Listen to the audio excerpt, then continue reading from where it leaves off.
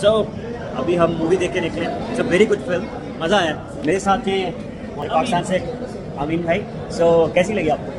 Movie लाजम देखना बनता है। वैसे। यहाँ इंडियन के साथ बोल बोल के इंडियन बट देन मूवी अच्छी मज़ा है बहुत मज़ा है एंड बहुत हम अभी जा रहे हैं हाउसफुल था। एंड अगेन हाउसफुल ही है क्योंकि टिकट्स नहीं है हमने चेक की थी। तो बट फ़िल्म बहुत मज़ा आया। मैसेज बहुत अच्छी थी बहुत मज़ा आया।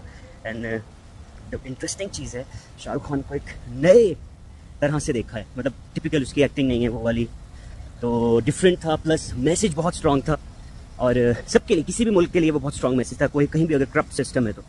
सो so, अच्छा लगा कि वो जो कहते हैं mass masala and with that some social message this is I think this is a good way to educate मैं हमेशा राजकुमार रानी साहब को इसलिए पसंद करता हूँ कि वो हमेशा एक मैसेज के साथ सोशल मैसेज के साथ मसाला फ़िल्म देते हैं जो कि कमर्शली uh, बड़ी इंपॉर्टेंट होती है विद सोशल मैसेज होता है। तो ये वैसी ही है।